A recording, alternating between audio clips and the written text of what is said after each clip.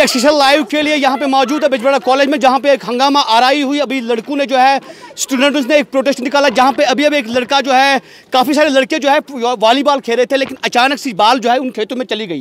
Cameraman दिखाने की कोशिश करेगा तो बच्चा जो है बाल लाने के लिए गया, लेकिन अपनी जान जो है, वो जोखिम में डाल के अपनी जान गवा बैठा। उमर नामी एक लड़का, कहा जाता है कि स्वर्गफारा अनंतांग में रहते हैं।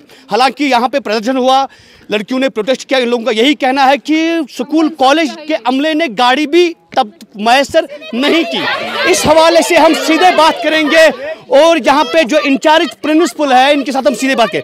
जी सर आप अपना नाम बताए बताइए कि क्या मामला हुआ और किस मुद्दे को लेके आई एम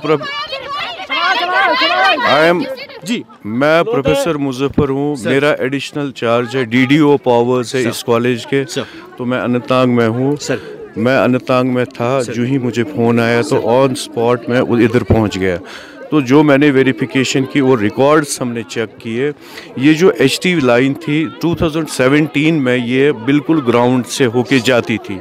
लेकिन देन प्रिंसिपल जो थे उन्होंने पीडीडी से ये इशू रिक्वेस्ट की कि कॉलेज में एचटी नहीं होनी चाहिए। सो so, कॉलेज ने साढ़े तीन लाख रुपए दिए हैं अपने कॉलेज फंड से।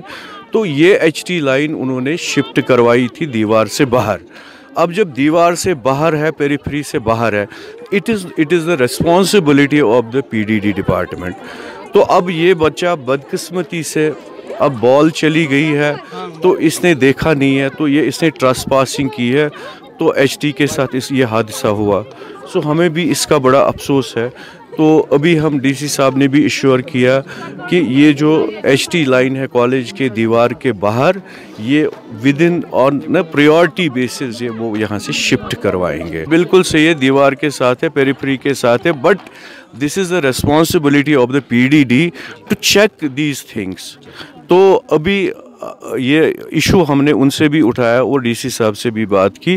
तो डीसी साहब एश्योर्ड कि ये हम पूरा देख लेंगे और साथ में जो हमारे एसपी साहब है डीएसपी साहब है, ये इन्वेस्टिगेट पूरी तरह से मामले का करेगा। देखिए, इसलिए हम इनके खिलाफ बोल रहे हैं क्योंकि हमारे पेरेंट्स हमें इस भरोसे छोड़ रहे हैं क्योंकि यहाँ पे भी जो स्टाफ मेंबर्स है, वो भी हमारे पेरेंट्स जैसे है।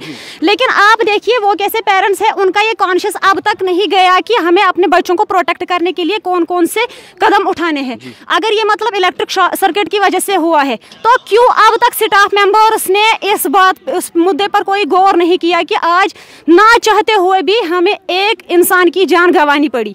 और दूसरी बात अगर ये अब दावा कर रहे हैं कि हमने ऑलमोस्ट पीडीडी डिपार्टमेंट में एप्लीकेशन डाली थी तो ये पीडीडी डिपार्टमेंट हाई हाई इसलिए बोल रहे थे क्योंकि क्या पीडीडी डिपार्टमेंट का मेन मोटिव यही है कि पहले इंसान खत्म हो जाए इंसानियत खत्म हो जाए तब जाकर वो कोई स्टेप अप करेंगे?